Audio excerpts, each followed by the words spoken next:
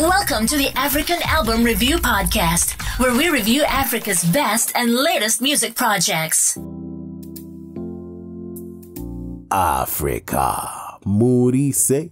My name is MJ Wemoto, and in the next few minutes, I'm going to give you a rundown of Roses Are Red, Tears Are Blue, a Fountain Baby extended play by Amaarae.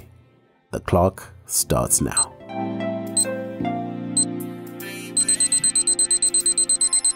The latest African album review is. Loading!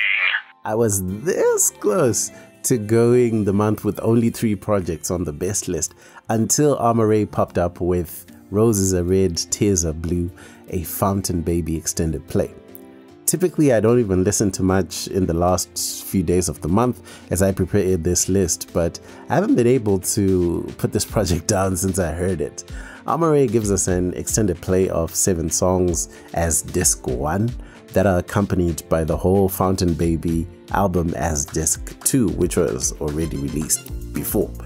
What stood out to me about these new tracks on Roses Are Red, Tears Are Blue, a Fountain Baby extended play? Oh, that's a mouthful. what stood out for me is that the sound is different to what Fountain Baby was, and you can hear the growth and you can feel it in the music. She continues to have a very pronounced eclectic side with much experimentation. The experimentation really takes you on a wonderful sonic experience that touches on all facets of a modern African sound or popular African sound with Afropop as an umbrella. Afrobeats, Amapiano, R&B, Alte, all in the mix in one way or another. This makes Roses Are Red, Tears Are Blue, a Fountain Baby extended play such a potent project. In addition, Amaarae is vocally so confident here and dabbling in different styles that make you wonder how much more she has in her arsenal. A song like Jehovah Witness really showcases what I mean, and she shows her range and ability to go to the extremes in whatever direction, and all in a good way.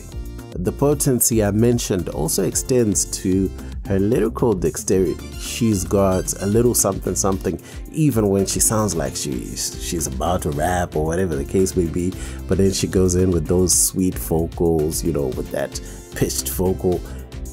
It really makes you get into the music. You get immersed into the music. And then when you're listening to what she's singing about, like her wordplay is so fire on some of these tracks, you're like, wow, how did she even think about that? And then she can go serious with it, but still giving you the vibes in that seriousness.